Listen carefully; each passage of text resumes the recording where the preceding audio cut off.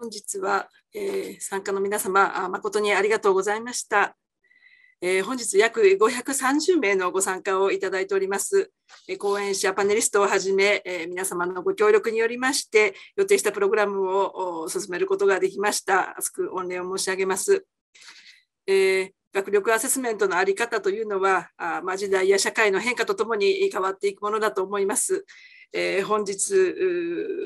ですね、まあ、その学力アセスメントというのは何を見たいのかという、まあ、目的に合わせた設計が重要であること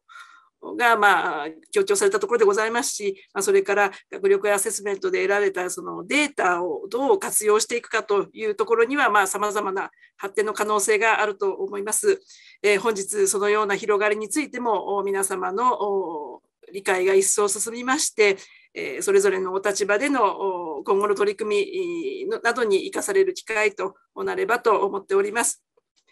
えー、時間の関係からあ Q&A の時間を設けることができませんでしたので、えー、ぜひこの後ご案内がありますアンケートに皆様からご意見、ご感想をいただければと思っております。